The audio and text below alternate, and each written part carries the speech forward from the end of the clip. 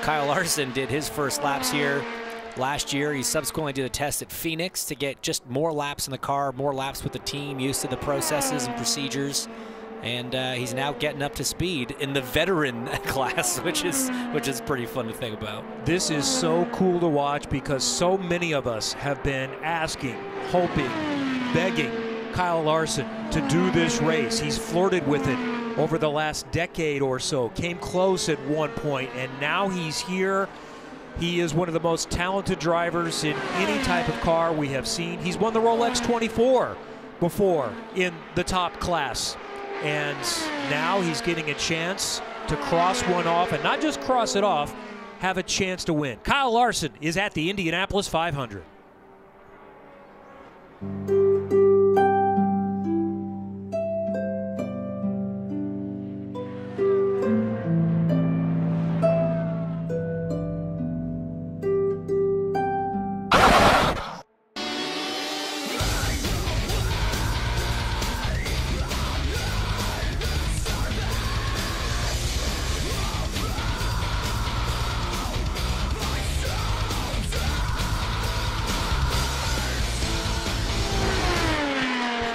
So is that how you prep? You wake up from a nap and still look half. I, I know he's pretty calm and cool. They must do stuff different in NASCAR. I, I promise you, when you're sitting in line waiting for your first qualifying attempt, napping is the furthest thing from your mind. You want to keep the heart rate low, but it's uh, easier said than done. So it's. Uh, I'm, I'm, glad he's getting the opportunity to practice that. We'll see how it actually works in, in principle when he's out uh, out on track on qualifying weekend. It's going pretty well for Kyle this year in the day job, too. He's finished second in the last two cup races. He's already got a win. He's third in playoff points. He leads in overall points. They changed things up, so he's back in the full-time entry because remember, Christian is not doing. Right. right. This is the only oval that Christian is doing. Right. he actually lost a race when the schedule changed. He was to do the Nashville Street Race, but now that's an oval. So Ed Carpenter is doing that race at the end of the season. So Ed picked up an extra race. So that makes sense then to make sure Ed's got the the car that's going to be scoring points in the leader circle, you know, for the car championship, the car uh, the car points for leader circle entries. And that was a real uh, difficult situation for Ed because that meant on the other oval races, you know, for example, Iowa, Worldwide Technology Raceway, uh, he, he was starting from the back. He was the first out in qualifying on a green track every single time because his car, his entry, was part-time and was last in entry point. What's still a little bit TBD as to what the penalty would be and how exactly is it enforced. Is it all four? If you are touching the line, that, that is still to be determined as we move forward. But I'm for this. I, I get that you are allowed to be proactive, but when you clearly have all four below the line and are headed to the pit lane,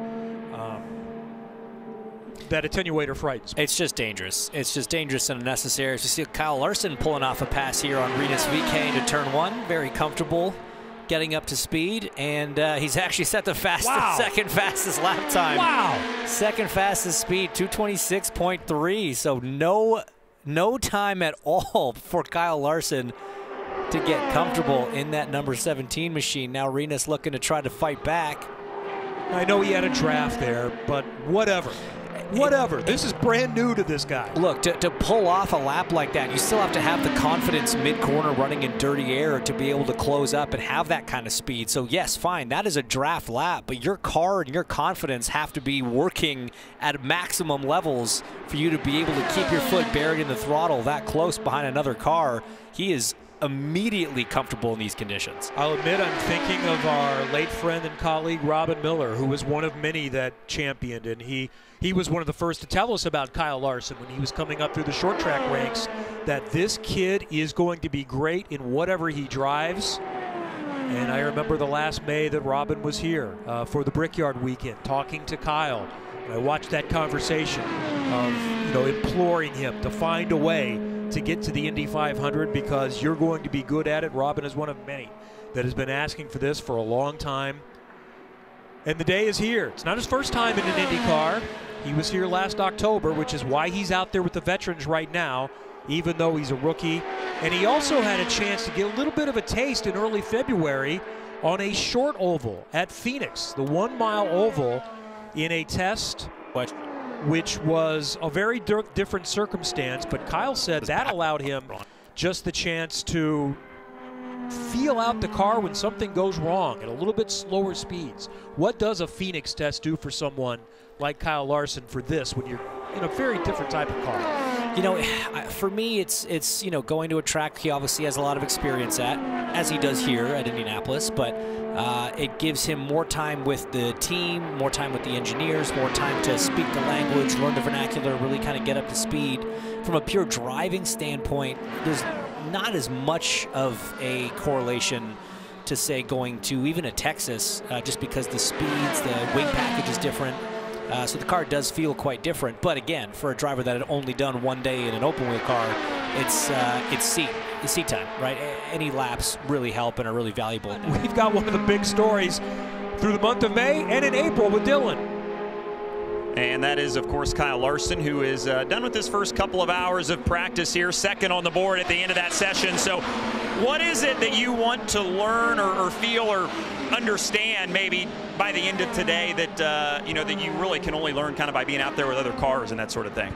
Yeah, that's it. I think just kind of getting in some traffic and like feeling the you know the, the dirt the dirty air and the turbulent air and all that like the first time i got in traffic i think my tires still had good grip, so i was surprised like it didn't feel that different in traffic um, and there that last time i was kind of i was already building you know tight or understeer and um, and then Newgarden got by me and i really was super tight behind him so just uh, trying to learn all that and process all that and, and just knowing what i can do in the car to try to help cope with that and, and timing the runs behind me. Um, just trying to figure out any bit of like racecraft today, which I know is tough, but um, just just trying to get you know an idea of things and just get notes in my head and um, all of that. You know, just getting comfortable like on pit lane and pulling in the pit stall and, and out of it, I feel like I've gotten more comfortable with the clutch and, and all that. So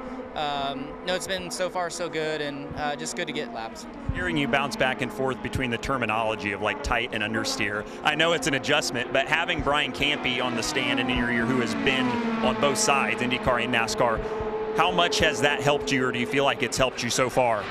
Yeah, I think having Campe here with his experience here and, and then his also his experience at Hendrick Motorsports and being around the way I communicate in competition meetings and, and stuff like that is, I think, really uh, really important to have him here to kind of help just that transition period of communication um, and all that, and just also you know what to look out for throughout the the practice sessions in the month of May and all that. So. Um, I'm very happy that Hendrick Motorsports is kind of loaning him uh, to me for for this experience because I really think it's going to be beneficial and um, and everybody here has been really easy to work with and, and talking and, and Tony Kanaan as well. So I've got a great group that's helping and all that. There's just a lot left to learn still. So um, enjoying it so far and um, yeah, just keep learning. You, of course, are, are renowned for your ability to just jump into cars and make them go fast. And it seems pretty natural when you do that. Where does this feel on the natural ability scale, jumping in a car and, and going, what, 226 plus miles an hour, you know, right out of the gate?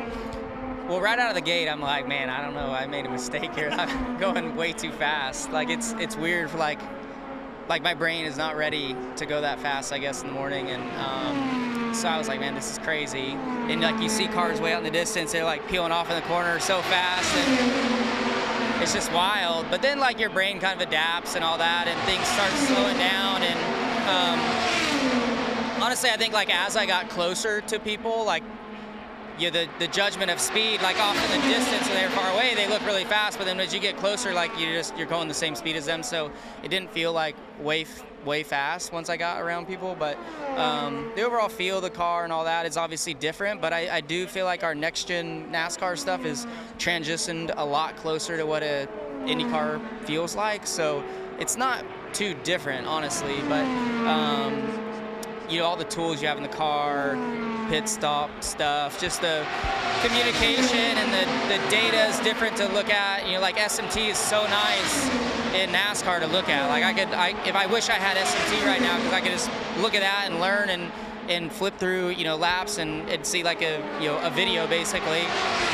Where this feels like more old school kind of a way, of a way to learn um, compared to what we're used to. So it's just different, but it's it's a good experience because I think it just opens my eyes to different ways of looking at things and um, how to approach things. So uh, it's been it's been good, like I said so far, but still a, a lot to learn and um, haven't even scratched the surface probably yet. So, uh, but it's been fun. So just look forward to getting back out there hopefully later. Hopefully the weather continues to hold off and we get more laps. Thank you, Kyle. Hi, folks. Leigh Diffey from NBC Sports here. If you truly enjoyed what you just watched, you can get more news, interviews, and highlights by subscribing to the Motorsports on NBC YouTube page. You can get it all, so go for it.